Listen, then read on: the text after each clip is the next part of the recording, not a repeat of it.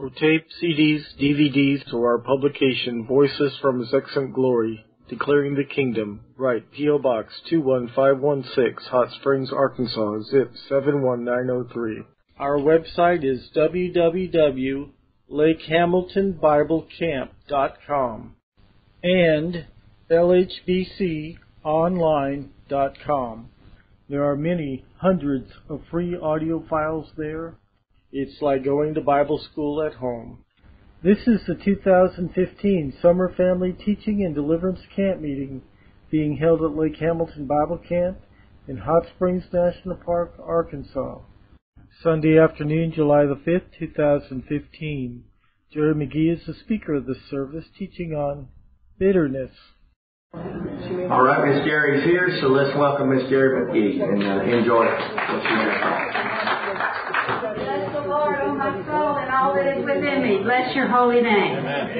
Praise the Lord. Bless you, Lord. How many of you were blessed by Kurna's message on how the greatness and bigness of God?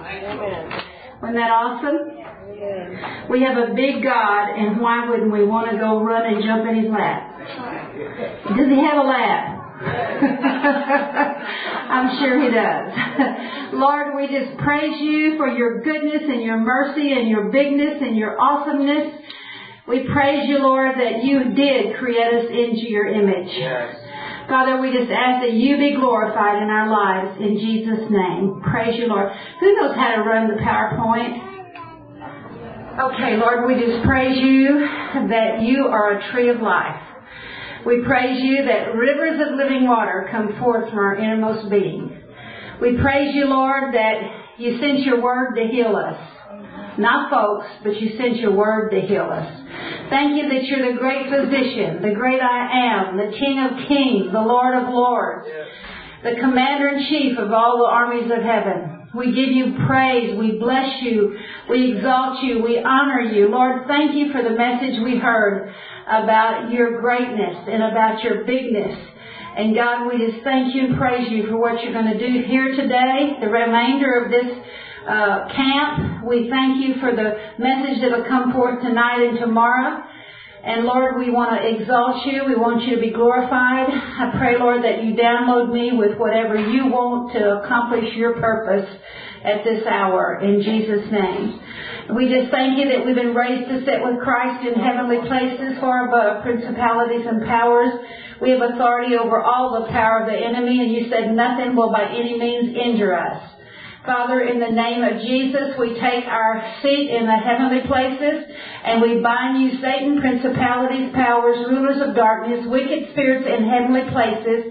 We bind you in the heavenly places and on this earth. We forbid you to work with, communicate with, make contact with anyone on this earth or in the heavenly places to work divination against us or this meeting. In Jesus' name, this camp, anything that concerns us, in Jesus' name, we praise you, Lord.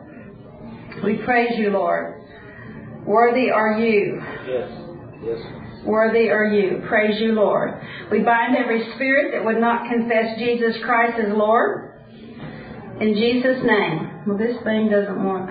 I tell you, this isn't the Three Stooges. when my kids were little, they did watch Laurel and Hardy and was that no? Laurel and Hardy was not the Three Stooges. Mojo and Curly. Praise you, Lord. But that has nothing to do with this message in Jesus' name. but today uh, I want to talk about a root of bitterness and how a root of bitterness comes into us. Um, Kerna shared that we were created in God's image, and in in um, Genesis five he said, and God said in His Word, after Adam had lived 120 years, he had a son in his own image and named him Seth. So in the garden, because of sin, um, we lost the image of God because of sin. And so when we come to Christ, uh, He wants to restore His image in us because the Scripture says uh, everything works together for good you don't have to say, oh no, another problem. God said, everything works together for good to those that love the Lord, to the called according to his purpose, for whom he foreknew, he predestined to become conformed into the image of his son. So God uses your trials to, deli- to discipline you, not necessarily because he's mad.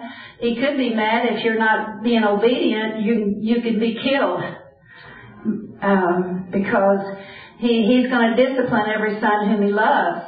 But it doesn't necessarily mean he's angry with us. It could mean he just wants to correct some things in us by allowing us to go through the trials.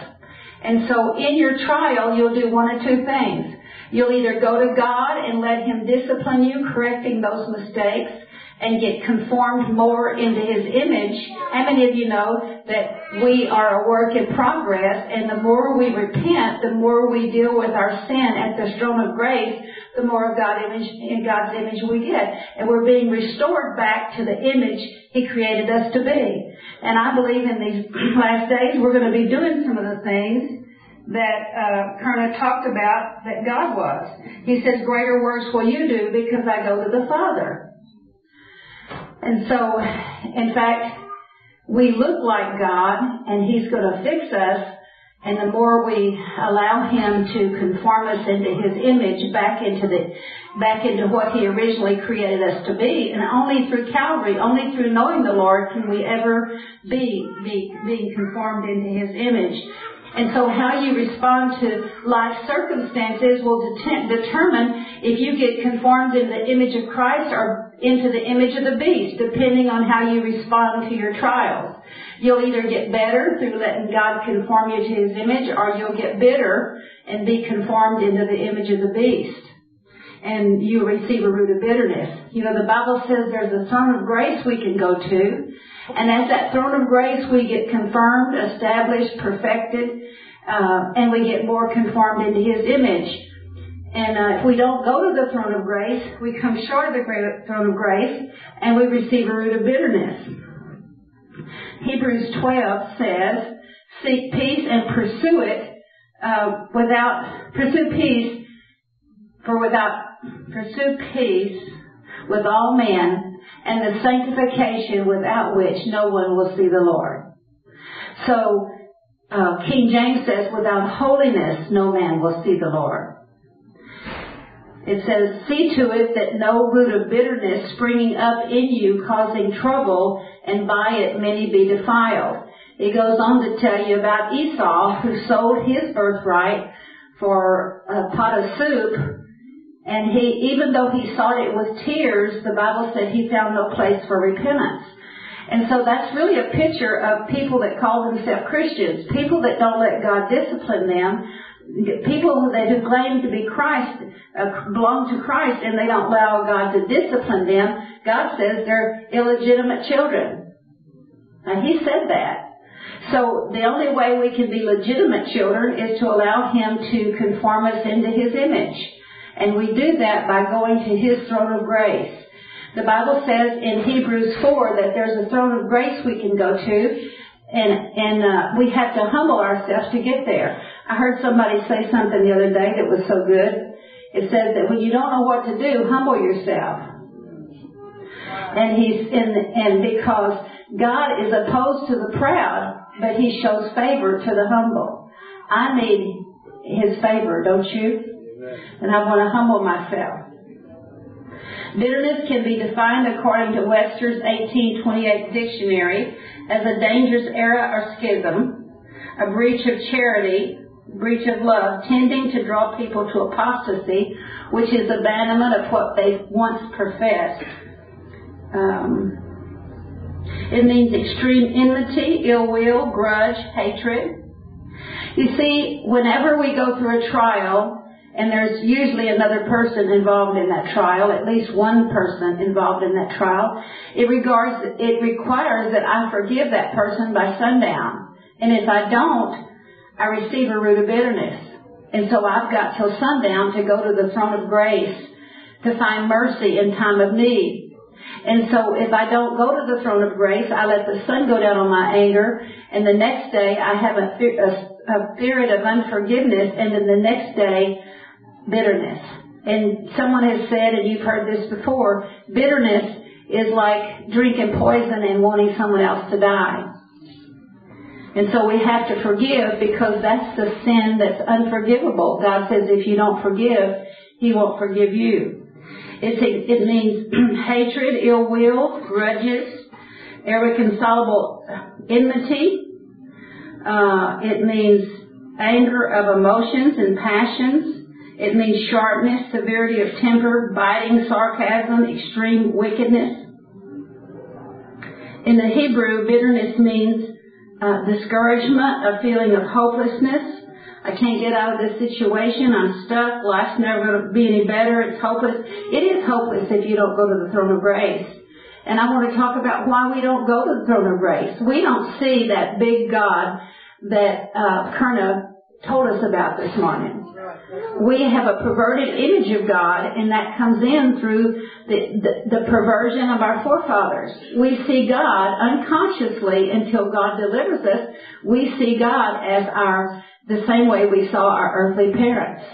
And because of that, instead of going to the throne of grace, we're afraid to go. Or we think God's a liar. If our parents were a liar, then no use going to a liar. Or if our parents didn't want the best for us, then we we we're, we don't want to go because God's going to give me some kind of raw deal like my parents did, or say I don't go to God because uh, my parents never, maybe my daddy was never there, my mother was never there, they never, they never guided me, they never directed me, they never led me, they never gave me good instruction. So when I go through a trial, the lie is God is not going to give me instruction either. And it's hard for me to believe that God says in James, if any man lacks wisdom, let him ask of God who gives liberally and upbraids not. And God gives liberally to us, but we have to humble ourselves and go to the throne of grace. And, you know, to get delivered and to walk in victory, you're first going to have to deal with your mother-daddy issues and the perverted way you saw God. And so I was really blessed by that message this morning because I don't think I'll ever forget some of those things. You know, God, God has been big to me because I had a daddy and mother that never lied to me. They never, they always wanted the best for me. They always uh, would guide me. They'd always lead me. I could always depend on them to protect me. So it's easy for me to believe God's going to protect me in these days because I've never not been protected a day in my life.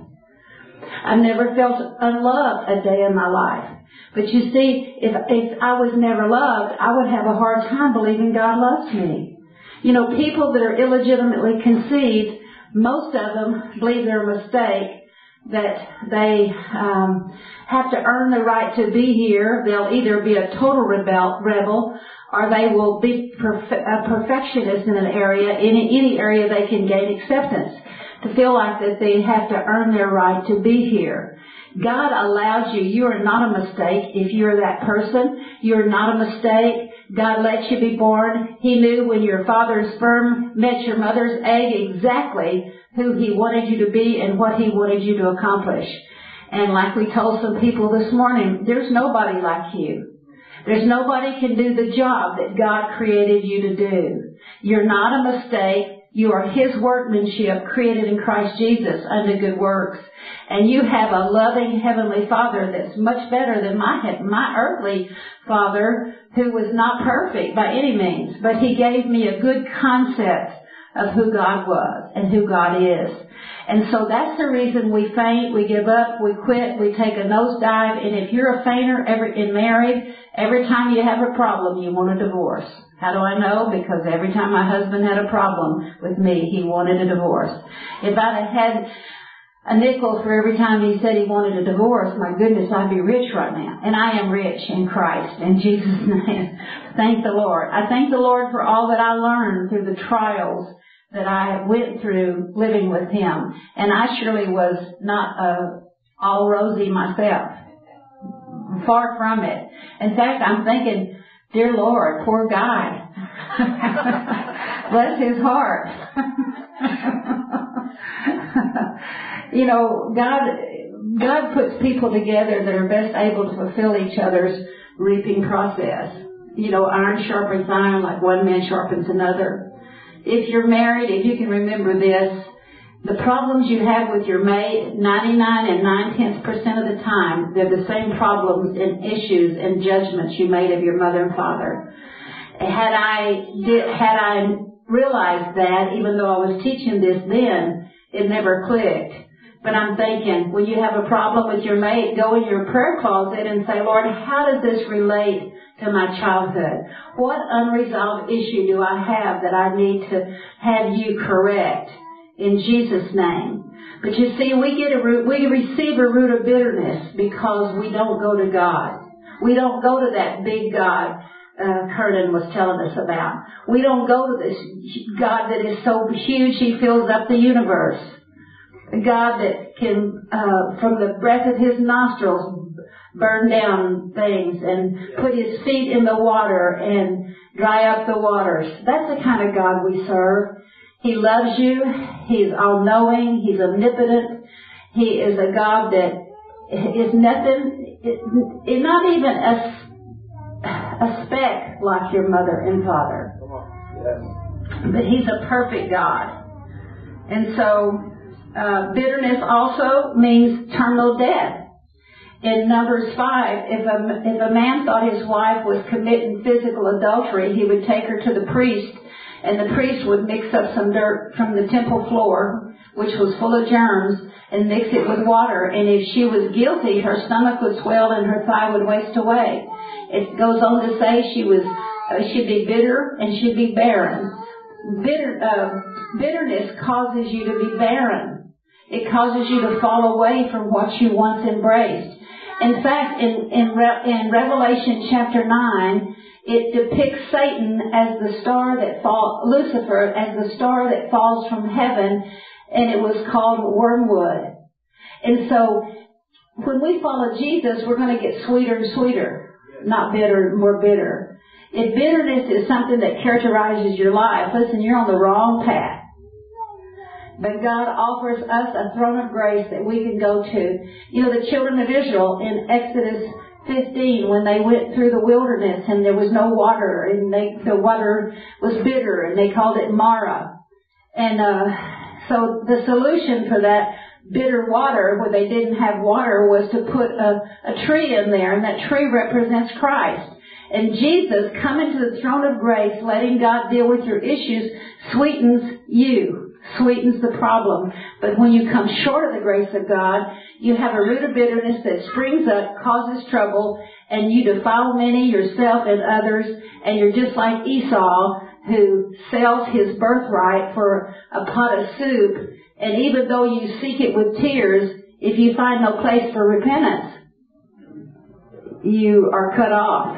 In fact, in John 15 it says if you don't produce fruit, you're like a branch cut off and burned. Uh, bitterness also means grief. It's spiritual adultery. It's fruitlessness. Causes you, opens you up to eternal death. Ephesians 4.31 says, Do not grieve the Holy Spirit by whom you were sealed for the day of re- redemption, let all bitterness and wrath and anger and clamor and slander be put away from you, uh, along with all malice. And be kind to each other, tender-hearted, forgiving each other, just as God in Christ has forgiven you. Hebrews 4:14 says, "Therefore, we have a great high priest, the biggest, the, the hugest God in the universe, the King of Kings, we have this great high priest who has passed through this, the heavens, Jesus, the Son of God. Let us hold fast to our confession. For we do not have a high priest that cannot sympathize with our weaknesses, but one which we have been, um, one who's been tempted in all things like us, yet without sin. Therefore, let us draw near to the throne of grace so that we may find mercy and find grace in, to help in time of need. In your trial, you'll either be conformed to Christ, more to His image, to restore. The, the purpose of working out your salvation with fear and trembling, of being conformed to His image, is to, to bring you back to what God created you to be. And we, we all know that, that we've all got so much junk in us that we don't have a whole lot of glory shining through. But God wants us to sparkle with His glory. Uh, I liked one of the definitions was it was like the luminaries of the, the, the light. God wants us to be light bearers. He says, let your light so shine before men that they see your good works and glorify your Father who's in heaven. In fact, Jesus said, I'm the light of the world, but he said, you're the light of the world, disciples, and let your light so shine. And there's not been a whole lot of shining in the body of Christ. And God's got to clean us up. We look like, we've looked like the Fredericks of Hollywood. And God's coming like a, coming for a pure, holy, sparkly bride that glorifies Jesus. And so you'll either be conformed to your to Christ and have His image, or you'll be conformed to the beast, which is wormwood, bitterness.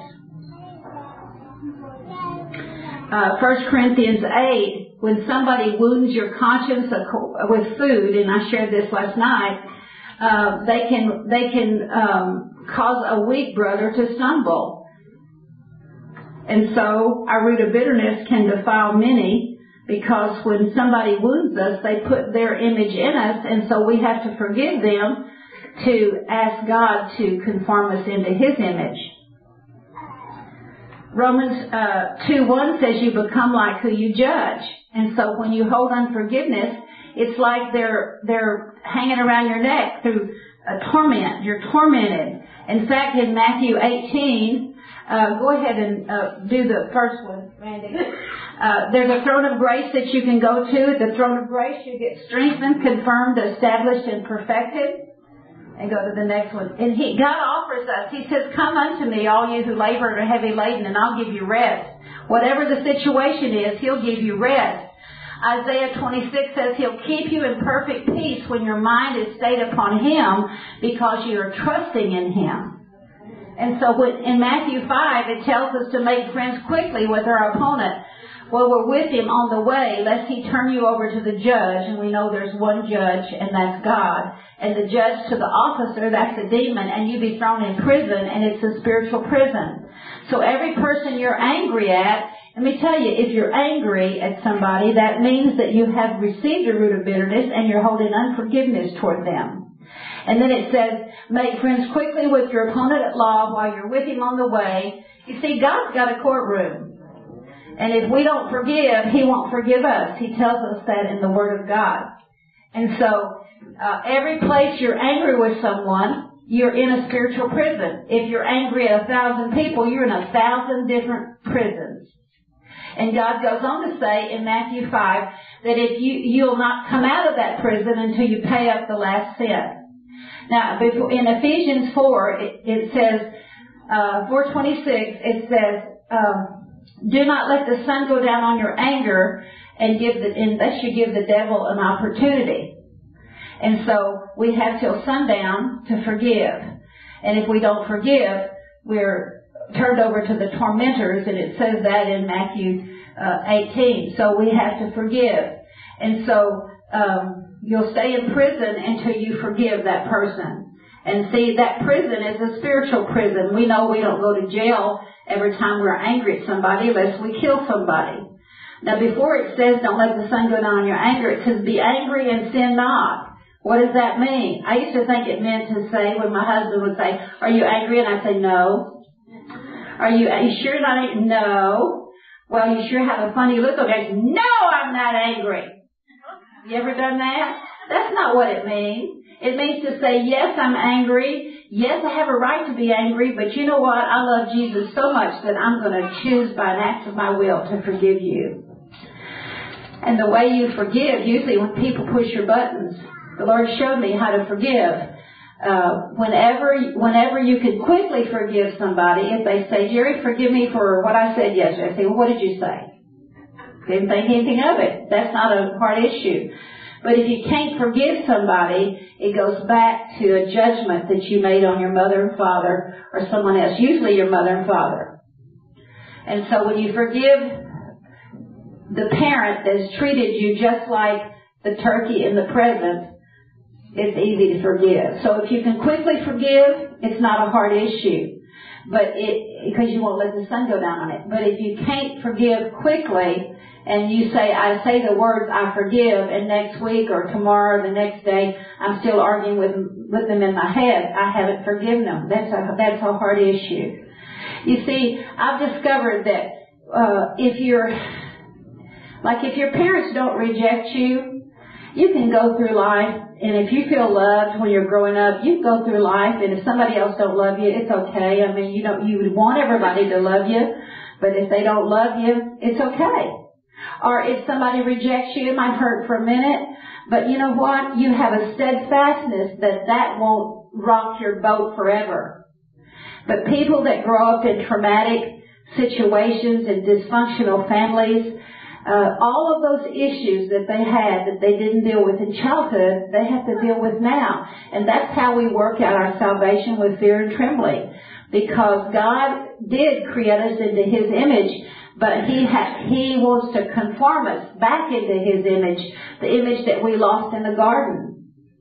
And thank God we came to Christ because that's the only possible way we can ever be restored is to uh, know know Jesus as our Savior and Lord. And I'm going to say as Lord. If He's not Lord of your life, he's the boss of your life, you need to get saved.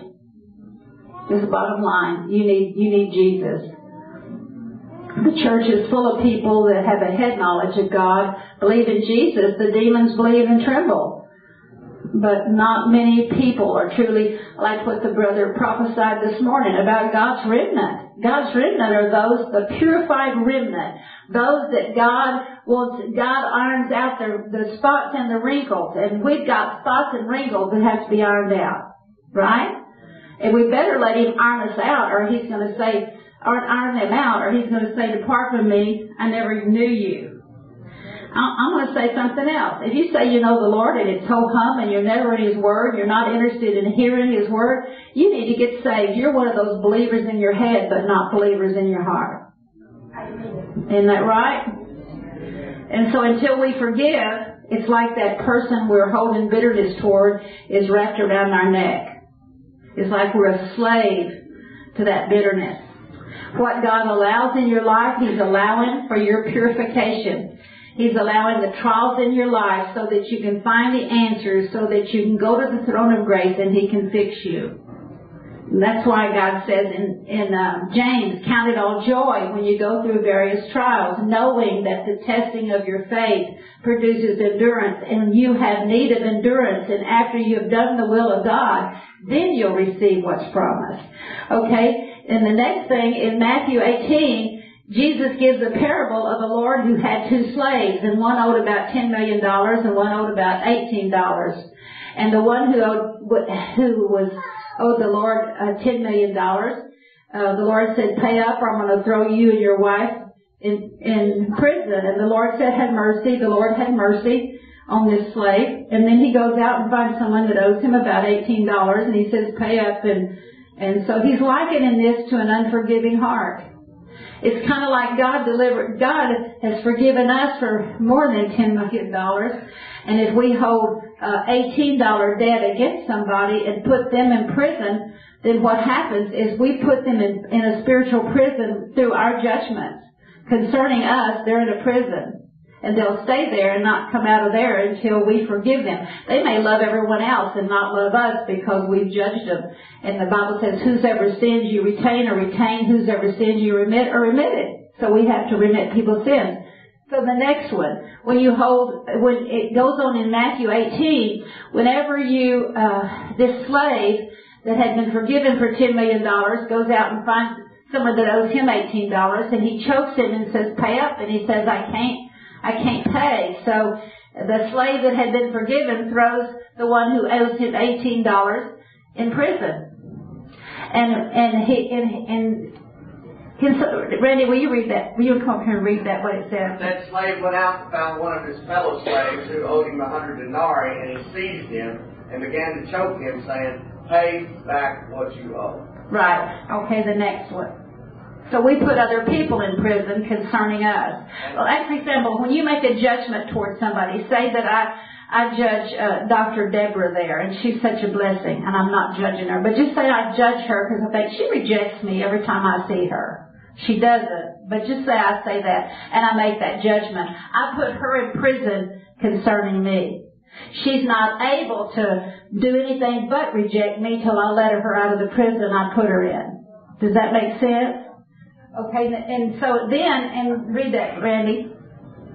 Matthew 18:34, and his Lord, moved with anger, handed him over to the torturers until he should repay all that was owed him. Okay, now the torturers, read all the things the torturers do. That's demons, recall, torture, regret, wounds, guilt, pain, insanity, depression, sickness, vexation, anger, hatred, grief, and bitterness. And see, um, when the, the Lord of the slave, it would be like, um, I'm holding unforgiveness toward Deborah. God's just forgiven me for $10 million and say, Deborah, you owe me $18, pay up, and she can't pay, so I throw her in prison. And then Carla sees what I did, so they, she goes and tells the Lord on me. And the Lord says, you wicked slave. Now he's talking to Peter, because he told Peter you're going to have to forgive seven times seven in the first part of that passage. And he said, he said, you wicked slave. Now he's calling a Peter, a wicked slave, he says, so shall my heavenly Father do to you if you do not forgive your brother from the heart. From the heart is those issues where you can't forgive. How many of you have said, I forgive somebody, and then the next day you're still arguing with them in your head? You know you have to forgive, and you're trying. The reason you can't forgive is because it has to be from the heart. The heart is that treasure that's been stored in your life from the time you were little children. If my mother and daddy love me, it doesn't matter. I mean, I, it makes me sad if nobody else loves me, but I'm telling you, I feel love for nobody else loves me or not. You see what I'm saying? Because however you're trained up is how your life goes. If you're trained up to be rejected, if I had been rejected, I tell you the area where I felt rejected was in the area of being fat. That's the only place I felt rejected. And when I lost weight, I got my daddy's acceptance, and when I gained a pound, he didn't like that. And so there was rejection there. So what it, how did that affect me? I always felt people rejected me because of fat, fat, fat, fat, fat. But had he accepted me in that area, I would have never felt rejected. I can say Carla probably never feels rejected in that area, in any area. Hmm.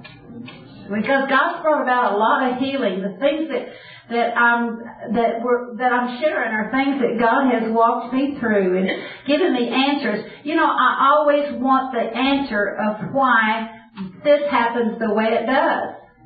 And that goes back to a daddy, no matter no matter what I asked him, he had an answer for me.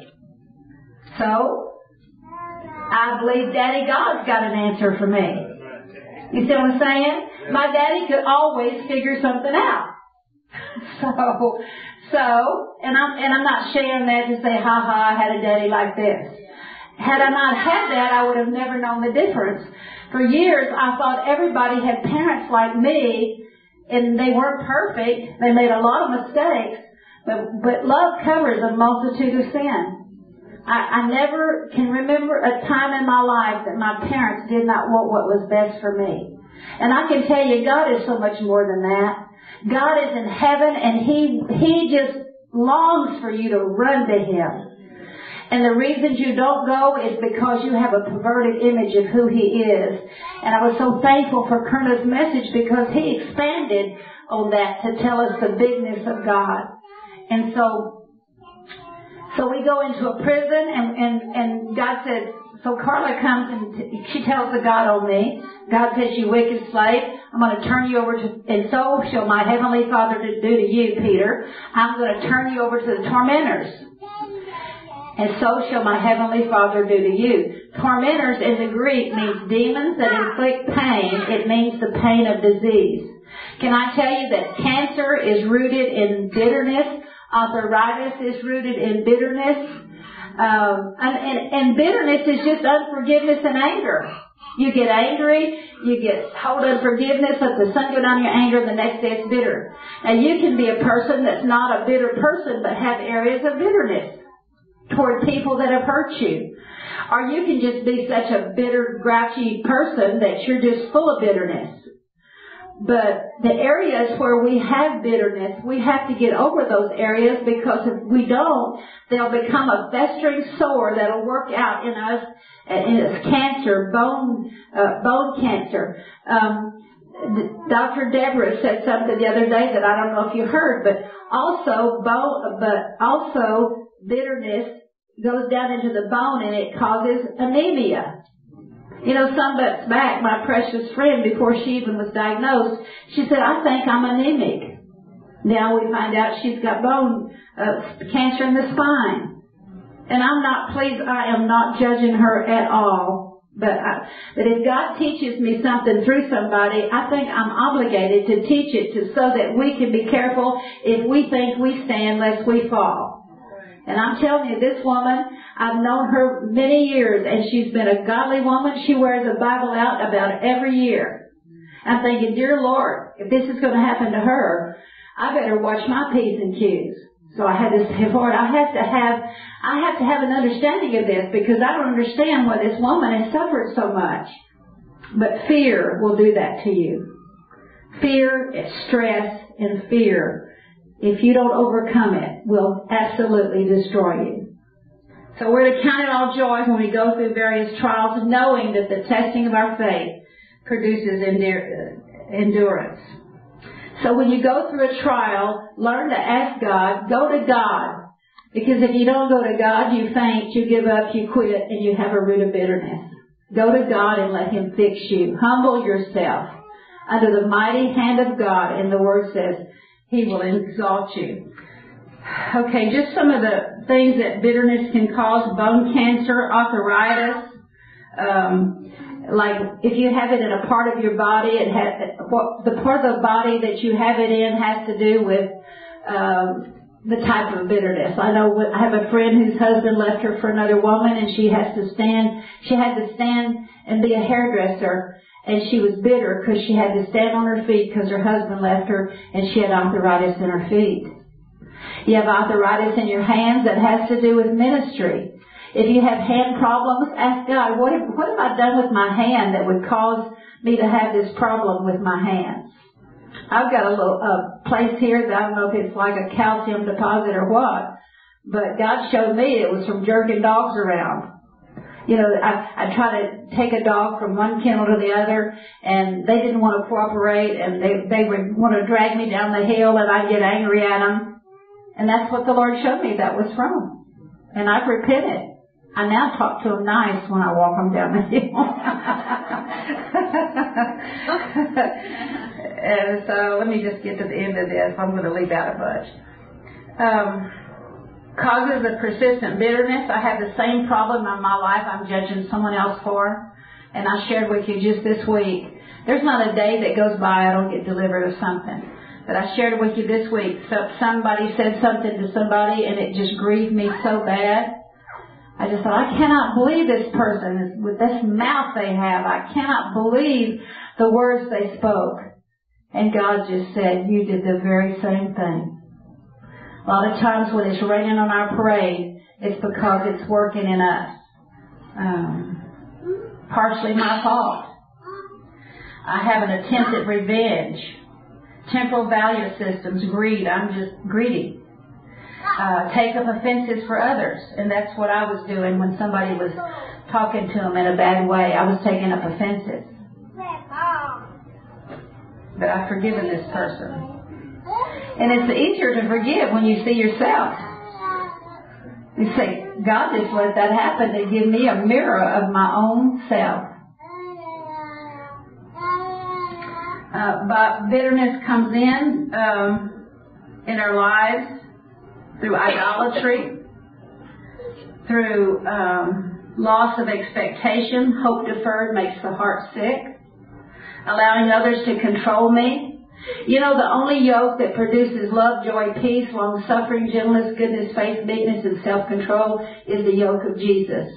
If somebody, if I let somebody control me, let me tell you something, it, it creates bitterness in my life.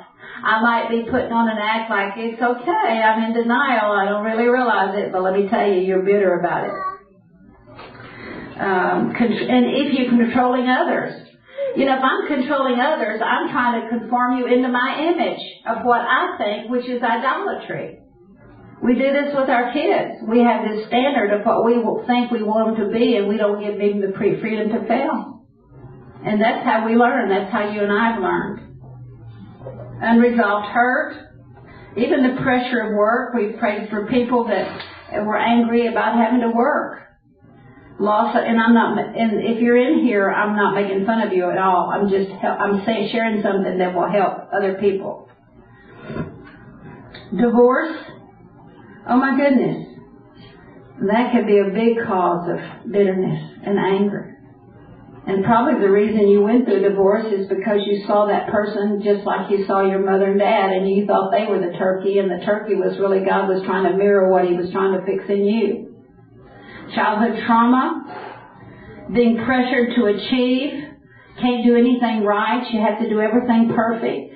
Hey, all you have to do is yield to the potter and the potter is not like your mom and dad. Your mom and dad if you were if you grew up with having to perform they taught you to turn the potter's wheel, which is legalism. But when you abide in Christ, the potter fixes you. And all that you do is the clay yields to the potter. The potter fashions you, molds you, makes you, uh, beats the bubbles out of you, and that's what he's trying to do to a lot of us right now. He's beating the bubbles out through letting us go through things. I don't think I've ever um, seen how, how many trials that people in the body of Christ are having right now. I believe God's using that to clean us up for these days so we can operate in the, the true, the way God created us to be in the garden with the power that He has so we can do greater works than He did because He went to the Father. And He created us just like Him. But we don't look like Him right now, do we? But that's why we work out our salvation with fear and trembling, being, being pressured to perform, to, to achieve. Uh, you know, if, if, if I'm in, in, if I'm a perfectionist, I, I'm driven to do everything perfect, and it's God wants us to do everything perfect. But when we're driven to do it, that's demonic. Words spoken over you are spiritual powers, either bringing life to you or death.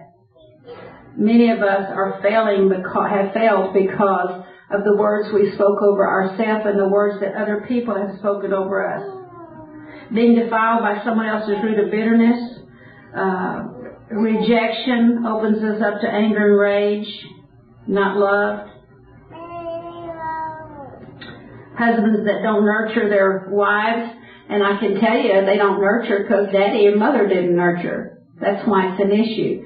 If mother and daddy nurture, you don't even think about getting nurtured or taken care of because your parents took care of you. Being pushed into the wrong role, the lack of nurture. Consequences of bitterness is cancer, death, barren, unfruitful, apostasy, being conformed to Satan's image instead of God's image, physical and chemical imbalance, lower resistance, aching teeth because if you're angry, it puts pressure on your teeth, grinding your teeth. You know, I used to have this recurring dream. it was demonic for sure. But that my teeth, I would grit my teeth in my dream till they just crumbled. And see, that shows there was some bitterness and agitation even in my childhood. And it was always the issue of fat. That was the only issue that I feel like I had. I mean, I had issues, but that was the only one that tormented me was weight problem. And most illnesses today are are the result of bitterness and guilt. And Bill Gothard says this, germs will not live on your body or have any effect unless there's bitterness and guilt in your life. Hardened facial features, Psalms 32 says, when I kept silent about my sin, my body wasted away, which means became old and wore out bone diseases. Bitterness goes right into the bones because the blood's made in the bone marrow. Psychological problems, depression, barrenness, heart problems, hopeless hope deferred makes the heart sick. Spiritual identification because I become like the one that I'm judging. depression. Bitterness quenches the Holy Spirit. Bitterness will hold you into immaturity. No development of character until you repent of bitterness. Bitterness means barrenness, rotten bones, arthritis. So what I want you to do is I want you to stand up and I want you to forgive your parents for every negative. You can, you can bless the Lord for all the positive things later. But all the negative things in your life that has caused you to see God the same way. God is harsh, He's cruel, He's mean, He's raging. He was, he, he never said He loved me. God never said, my dad never said He loved me. So Lord, just, uh, let the, let's do this first. Let's do the Holy, let's just deal with this first. Ask the Holy Spirit to show you everything negative about your earthly father and your earthly mother. Just make a list. And, and generally you've said, I forgive them. I know you have. But the, every instance has to be forgiven. If they beat you, Lord, I forgive them for beating me. If they were couch potatoes, I forgive them for being couch potatoes. If they were alcoholics, I forgive them for being an alcoholic. You have to be specific to forgive every instance in order to get over the roots of bitterness in those areas and also so that the lie you received about God uh, will be abolished, so you can see God in His true character. So Lord, search my heart, test my thoughts. Lord, let me know the truth that sets me free. Lord, would you please show me every negative thing about my father and mother so I can be free of bitterness and then just sit down when you're through and we'll deal with that and then we'll deal with the root of bitterness.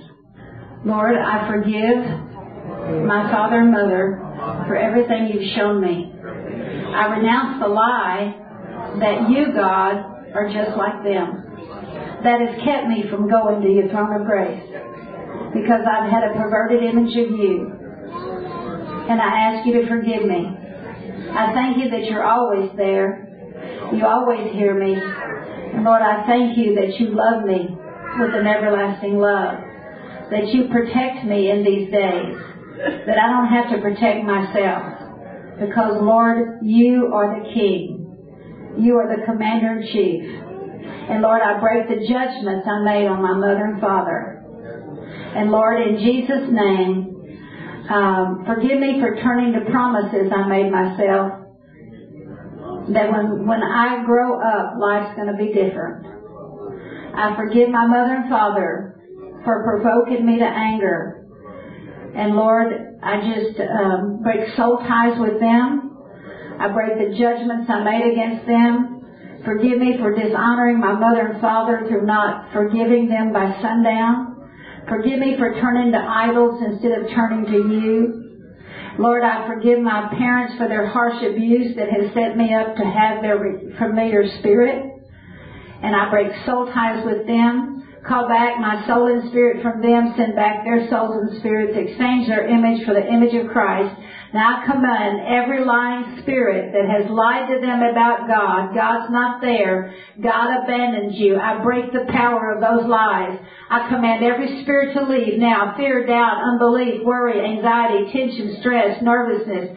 I command in the name of Jesus anger to go. I command every lying spirit to go. All deception has to go. Every spirit that's hindered them from going to the throne of grace. I break your power. All fainting spirits. All spirits that cause them to lose heart, want to run, want a divorce. I break your power in the mighty name of Jesus. I command you to go now in Jesus' name. I break your power in the mighty name of Jesus. I command all anger, hostility, wormwood, Lucifer. I command wormwood in Jesus' name. I command you to go. Abaddon, Apollyon, I break your power in the name of Jesus. I command the image of the beast to go in Jesus' name. I break your power Lord, I forgive my parents for training me up in the way I should not go. I ask you to break those defaults because I forgive them. In Jesus' name. Praise you, Lord. Praise you, mighty God. Bless you, Lord. Bless you, Lord. Worthy are you, Lord. Praise you, Lord. Praise you, Lord. Praise you, Lord. Praise you, Lord. All spirits of pride, all spirits of dishonoring mother and father, go. All spirits that came in through idolatry, uh, through the vows they made, I break the power of all the vows in the name, power, blood, and authority of Jesus. All the vows that they made, they'll never be like daddy. They'll never be like mother. I break your power in Jesus' name. Praise you, God. Depression, woundedness, hurt, I press them out. I bandage them. I soften them with oil in the name of Jesus. I break the expectations that all women are like my mother, that all men are like my daddy. I break the power in Jesus' name. I command the familiar spirits of mom and dad out in the name of Jesus. I break the power of every familiar spirit. In Jesus' name, all spirits that cause them to lose heart, give up, quit, want a divorce, go in Jesus' name. All spirits of abandonment, all orphan spirits. Uh, God says He will not leave you as an orphan. All orphan spirits have to go now in Jesus' name. All hostility. Lord, forgive me for wanting to kill my parents. All spirits of murder, you leave now in Jesus' name. All spirits of retaliation and grudges, in Jesus' name. All spirits of wanting to abuse parents, go. All spirits of child abuse, sexual abuse, physical abuse, mental abuse, emotional abuse, go. All spirits of child abuse, go in Jesus' name. All spirits that tell them they won't be protected in these days.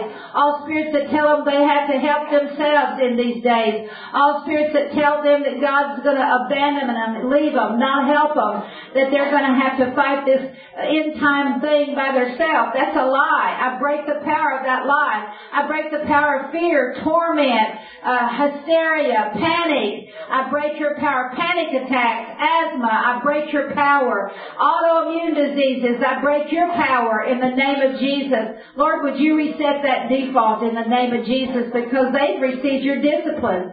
They have received your correction. They've received your discipline. Praise you, Lord. Rebellion has to go.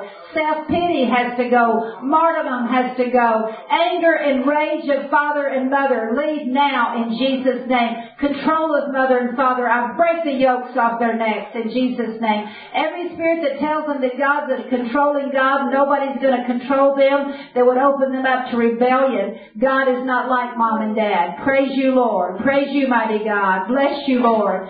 Praise you, Lord. Worthy are you, Lord. You inhabit our praises. Thank you that we order our conversation aright. You show us your salvation. Praise you, Lord. Praise you, Lord. Worthy are you. Praise you, Lord. Praise you. Now, when you feel a release, lift your hands and sing with me. What can wash away my sin? Nothing but the blood of Jesus. What can make me whole again? Nothing but the blood of Jesus.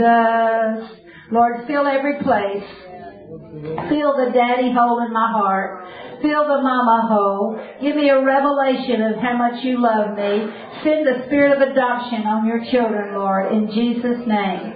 Okay, now I want you to stand up and I want you to forgive every person that, um, yes, praise you, Lord. Praise you, Lord. Praise you, Lord. All grief has to go. Sorrow, broken heart, you have to leave now in Jesus' name. All spirit of a broken heart, you have to go in Jesus' name. Praise you, Lord. Praise you, Lord. In Jesus' name, broken heart, you have to go. In Jesus' name. Thank you, Lord, that you're healing Little Rock. Praise you, Lord. Bless you, Lord. Praise you, Jesus. Praise you, Lord. Praise you, Lord. Okay, Lord, who do I need to forgive? I'm going to share this. I shared part of it, but you've heard it before. But I had lunch with somebody. We got in a disagreement. She said she was sorry. I said I was sorry. The next day I was still arguing her, with her in my head. I said, Lord, she said she's sorry. I said, I'm sorry. Why can't I get over this? And the Lord said, she's just like your mother. Well, Lord, I don't know what to forgive my mother for. Will you forgive your mother for everything you don't like about her? I started down, forgive my mother, forgive my mother. And she wasn't even an issue anymore. But if you can quickly forgive, it's not a hard issue. But that was a hard issue with me.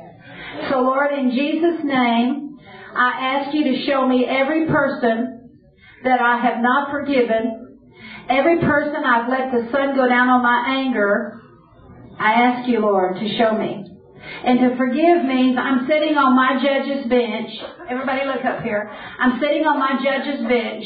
And what forgiveness means is I transfer, transfer this court case to another court. I take the people that hurt me and my mom and dad, because they did the same thing, and I walk them over to God's courtroom and I put them in front of the king, the the great judge, judge, judge oh, oh, oh, the great judge of the universe, and I shut the door and I rest my case. That's what forgiveness means. To transfer the case from my courtroom into God's courtroom.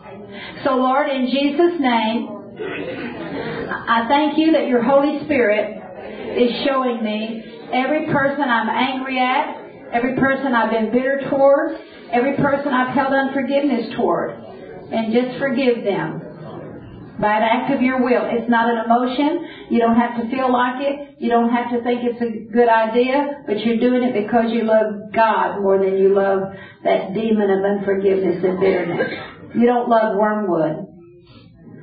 The king tells the bride in Song of Solomon, your mouth is so sweet, my darling. People that, that are God's remnant have a sweet mouth, not a bitter mouth. You can sit down, but don't sit down until you're through forgiving. Is everybody sitting down? Lord, in Jesus' name, as a little child, I didn't know I could go to you. And it's been a lifelong pattern of not going to you.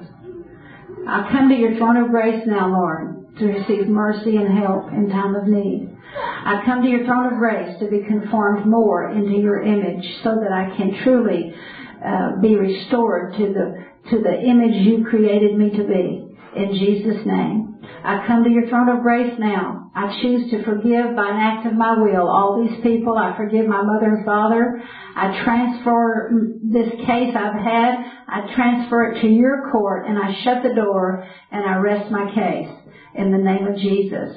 And Lord, I've been tormented. I break the power of of unforgiveness and anger and bitterness. I tear out that root of bitterness, the spirit of wormwood. I command wormwood to go. The gall of bitterness, I command you to go. I command in Jesus' name gallbladder problems to leave in Jesus' name. The spirit of bitterness has caused me to have gallbladder problems. Go in Jesus' name. Acid reflux, I break your power. That's rooted in bitterness. Arthritis, I command that to go. Self-hatred, unforgiveness of self has to go now. Tormentors, sickness, degrees, demons that inflict pain and disease, you leave now in Jesus' name. I command all spirits of fear, worry, in the name of Jesus. All spirits of unforgiveness, forgive me for vowing I'll never forgive them. I forgive my forefathers for uh, holding unforgiveness, bitterness, revenge, grudges, the root of bitterness that's come down generationally. We break generational curses, soul tie curses, cultural curses in the name of Jesus. That gall of bitterness that's passed down the generations. I command you to go in Jesus' name. Anxiety, tension, stress, nervousness, guilt, shame, in Jesus' name, procrastination, I command you to go. Failure, I break the power of the words of death, words of iniquity that's been spoken over these people. I make void every negative word of death that's ever been spoken over them in the name of Jesus. I break the power of depression. I break the power of failure, bitterness, barrenness. I command you to go. I break the curse of the law of jealousy, spiritual adultery. Adultery has to go. In Jesus' name, I break your power. I command teeth problems to go. In Jesus' name, sickness, distress, disease, infirmity, you leave now in Jesus' name. In Jesus' name, procrastination, you come out. Fear of making a mistake, perfectionism, driven to perform has to go in Jesus' name.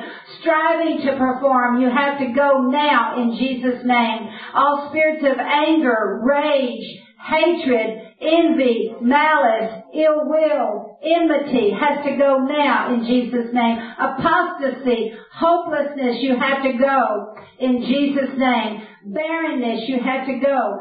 All the spirits of fruitlessness has to go. Every spirit that's hindered them from producing fruit and being what God created them to be. Get out now in Jesus' name. All spirits that cause them to lose heart, give up, quit, let out now in Jesus' name. All spirits of grief has to go in Jesus' name. Break your power. Panic, panic attacks, Fear of the one world order, you have to go in Jesus' name. Fear of being put in a concentration camp, you have to go. Fear of making a mistake, you have to go. Fear of, uh, Fear of a firing squad, you have to go. Fear of being beheaded has to go. Fear of ISIS, fear of Ebola, fear of all the things that we are told are going to happen uh, in Jesus' name. Fear of the of the foreign military that's in this country in Jesus' name. Thank you, Lord, that we have authority over all the power of the enemy, and when the enemy is actually afraid of us, and that when they come against us, they have to flee seven ways in Jesus' name. Every spirit that's caused us to flee seven ways, I command you to go. Fear of being blamed, fear of being accused, fear of, of um, fear that I'll not, I'll weaken and take the mark. I break your power. God's grace is sufficient. You're a lying spirit. We run into the uh, into the God's refuge. He's a shield to those who take refuge in Him. Lord, you said the name of the Lord is a strong tower. The righteous can run into it and are safe. In Jesus' name, Lord, I run into your arms. Forgive me for coming, pray with you. Forgive me for coming short of the grace of God. Forgive me for receiving a root of bitterness and being just like Esau, selling my birthright for, for soup. And God, in Jesus' name, I repent. In Jesus' name, praise you, Lord. Praise you, Lord. When you feel a release, lift your hands and sing with me. What a mighty God we serve. What a mighty God we serve. Angels bow before him. Heaven and earth adore him. What a mighty God we serve. You're the King, Lord.